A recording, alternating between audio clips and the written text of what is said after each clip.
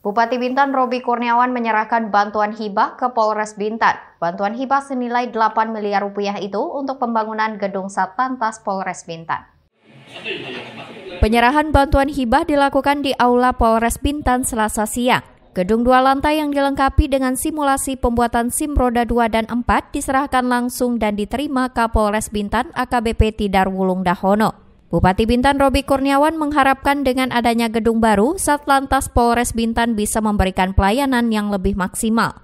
Sementara itu, Kapolres Bintan AKBP Tidar Wulung Dahono mengatakan, saat ini pelayanan di gedung baru bisa untuk pengurusan SIM A dan SIM C serta perpanjangan dan membuat baru.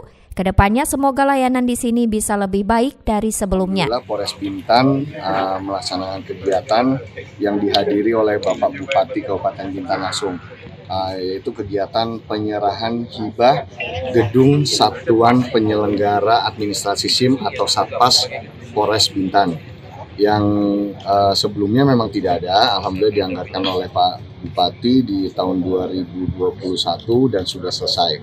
Nah, hari ini kita uh, menerima hibah dari beliau sudah ditandatangani berharap ya gedung ini dapat bermanfaat bagi masyarakat di Kabupaten Bintan. Ke depannya, Satlantas direncanakan akan menjadi pelayanan satu pintu, di mana dalam pengurusan SIM seperti psikotes dan kesehatan menjadi satu lokasi. Muhammad, GoTV News melaporkan.